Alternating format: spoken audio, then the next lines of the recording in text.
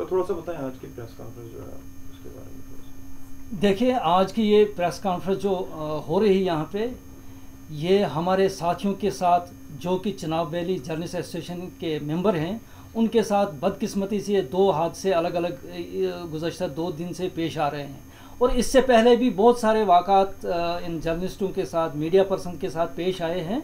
तो जिसमें एडमिनिस्ट्रेशन ने हमारी डिमांड्स को भी माना था, लेकिन उसके बाद ये फ्रिक्वेंटली ये दोबारा ऐसी इस किस्म के जो वाक़ात पेश आ रहे हैं, जिसकी वजह से हमने पहले डिसाइड किया कि जितने भी गवर्नमेंट के फ़ंक्शन होंगे यहाँ एडमिनिस्ट्रेशन जितना भी मतलब वो फ़ंक्शन करती है, हम उसका पहले बाइकाट करेंगे। उसके बाद हम देखते हैं कि एडमिनिस्ट्रेशन का रोल और एडमिनिस्ट्रेशन का क्या रवैया रहता है, जो ये इंसिडेंट के पेश नज़र आए हैं और हमारी जो डिमांड है, हम चाहते हैं कि हमारे साथियों को कम से कम डिग्निटी से पेश आएँ। हमारे साथियों के साथ ऐसा सलूक हो कि जैसे एक, अच्छे मंजे हुए जर्नलिस्ट के साथ पेश आना चाहिए था। लेकिन बदकिस्मती से ऑफिशल्स या एडमिनिस्ट्रेशन के जो लोग हैं यहाँ पे, ये फॉर ग्रांटेड लेते हैं और इसकी वजह से हमने डिसाइड किया है कि हम तब तक अपनी जो अपनी स्ट्राइक जारी रखेंगे जब तक एडमिनिस्ट्रेशन ना कोई कोई स्टेप लेती है। क्योंकि पिछले दिनों एक तो हमारा साथी जो सुरेंद्र कुमार है परियोत में एक हादसा पेश आया इनके साथ। ये कहीं अपनी प्रोफेशनल ड्यूटीज़ करते करते इनके साथ कहीं ठेकेदार और दूसरे किस्म के लोग एक दो लोग हैं वहाँ पे। तो उन्होंने इनके साथ बड़ा नारवा सलूक किया और जिसकी वजह से इनको काफ़ी हतक अहमज मतलब इनको मारपीट भी की गई, इनके साथ बड़ा बदसलूकी पेश की गई। उसके एवज़ में हम ये as a mark of protest, ये प्रेस कॉन्फ्रेंस दे रहे हैं। उसके बाद ये वसीम, जो कि गुलिस्तान न्यूज़ के साथ हैं तो ये कहीं परसों हॉस्पिटल में वो एक प्रोफेशनल ड्यूटी करते करते वहाँ पे बहुत सारे लोगों ने कहा, यहाँ पे काफ़ी गंद पड़ी है, यहाँ पे मास्क पड़े हैं, यहाँ पे दूसरे किस्म के जो मतलब गंदगी जो लिफाफे हैं प्लास्टिक या दूसरी किस्म की गंद वहाँ गंदगी के ढेर भरे हुए थे। क्योंकि हॉस्पिटल में अगर ये गंदगी के ढेर हैं तो आपको अंदाज़ा हो हो सकता है कि दूसरी जगहों पे क्या हालत होगी। ये उस हॉस्पिटल में जो कि इस वक्त कोविड के जो इस वक्त पेशेंट वहाँ आ रहे हैं, उनके साथ अगर वहाँ इस किस्म की गंद पड़ी है तो अंदाज़ा किया जा सकता है दूसरी जगहों पे ये मतलब सूरत हाल क्या होगी। लिहाजा उस सिलसिले में भी वहाँ के जो ऑफिशियल हैं, वहाँ के भी जो कंसर्न अथॉरिटीज़ हैं, इनके साथ काफ़ी बदतमीज़ी से पेश आए और उनने उनको यहाँ से जाने की वो इसलिए नहीं कि उनको कहीं वो मरीज़ों की पड़ी है, लेकिन अपनी नेग्लिजेंस को छुपाने के लिए उन्होंने इनको टारगेट बनाया, ताकि यहाँ पे वो लोग ना आएँ। यहाँ हमारी जो अंदर की जो खराबियाँ हैं, यहाँ पे जो नेग्लिजेंस है, यहाँ पे जो ड्यूटीज़ या मतलब जैसी होनी चाहिए थी, वहाँ जिम्मेदारियाँ। तो उस किस्म की वो अंजाम नहीं दे रहे हैं। तो बजाय उसके इनके साथ काफ़ी ये बदसलूकी से पेश आए। तो हमारी डिमांड है इन दोनों इंसिडेंट्स को लेकर हमारी डिमांड है। हम देखते हैं कि एडमिनिस्ट्रेशन में ये क्या करते हैं। एडमिनिस्ट्रेशन इस मसले में क्या करती है? क्योंकि पहला मसला भी बड़ा अहम है और दूसरा भी अहम है कि लोगों ने बार बार ये हमें कहा कि हॉस्पिटल में गंद होती है हॉस्पिटल का निज़ाम सही नहीं है हॉस्पिटल का निज़ाम दुरुस्त नहीं है। तो हमारे साथ ही वहाँ पे गए उन्होंने कवर किया। तो उस जिसकी वजह से अब वहाँ की जो अथॉरिटीज़ हैं इन, इनके साथ वो वैसा सलूक कर रहे हैं।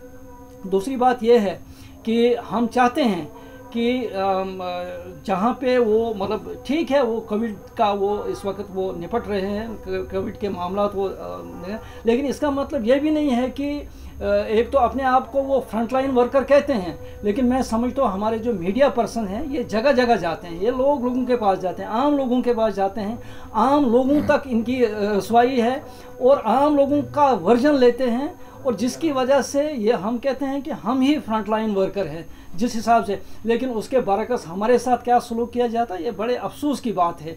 बड़े हम समझते हैं उनकी भी कुछ रिस्पॉन्सिबिलिटीज़ हैं, उनकी भी कुछ अपनी मजबूरियाँ हो सकती है। लेकिन इसका मतलब नहीं है कि हमारे जो मीडिया पर्सन हैं, उनके साथ इस किस्म का सलूक किया जाए, जिससे मीडिया पर्सन की हतक हो, जिससे हतक हमें कलमात कहते हुए उनकी वो तजलील होती है, जो बर्दाश्त नहीं की जाएगी।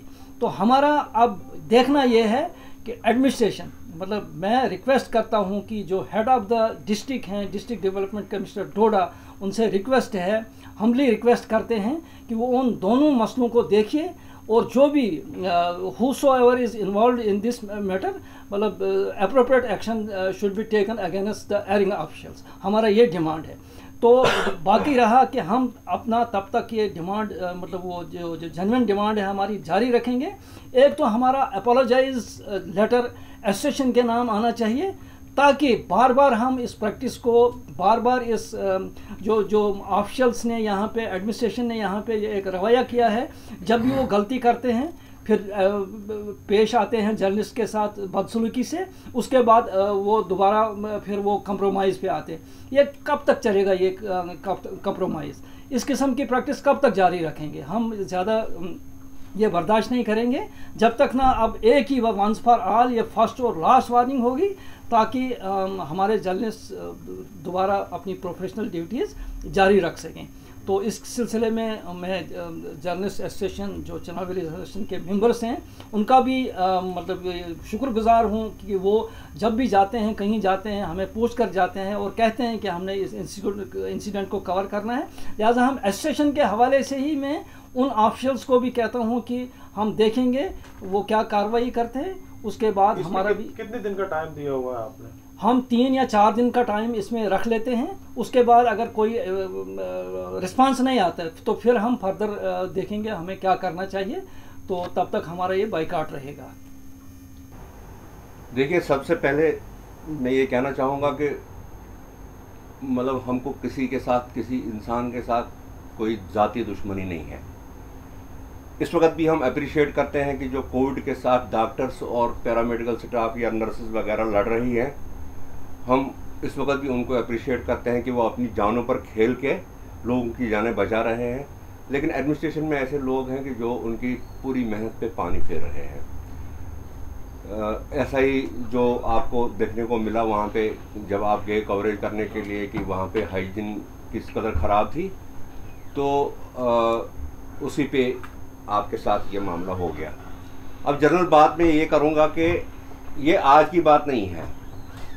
हमेशा से जो ब्यूरोक्रेट्स हैं या ऑफिशल्स हैं, वो अपने आप को कुछ और समझते हैं, मीडिया पर्सनस को ऐसे समझते हैं कि भाई ये इनका, उनको कुछ काम नहीं है, इसलिए ये कर रहे हैं, जबकि ये कंसेप्ट बहुत गलत है।